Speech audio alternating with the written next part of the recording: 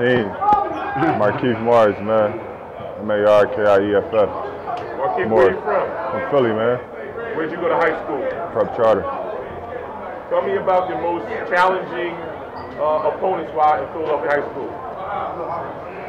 Uh, uh, school-wise, I would say Imhotep uh, at the time when I was in school. Okay. So now that you're in the pros, um, how would you say that Philadelphia contributed to your pro experience?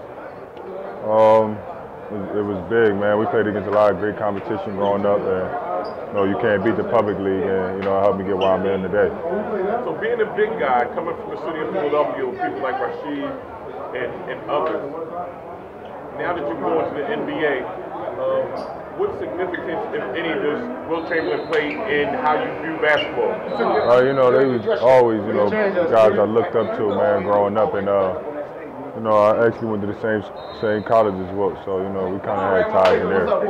While you were at um, while you were in, uh, at college, were there any comparisons about you and your brother and, and Wilt Chamberlain? And, and Uh, no, no, not really. Just you know, just we was at we came from the same place. You know, we went to Overbrook, and you know, they showed them for every game, so we got a chance to see them. You know, and, and remember that Was there is there a lot of memorabilia of Wilt Chamberlain at Kansas? a whole lot. Really? Like Yeah. anything that stick out that you never saw? Yeah, they got a couple. They got a couple uh, statues there. They got a lot of trophies and a lot of. Lot, they just he got his own section there Oh wow. in Kansas. Anything you want to wrap us up with? Uh, no, not really. You know, right. Philly you in the much. building. Yeah.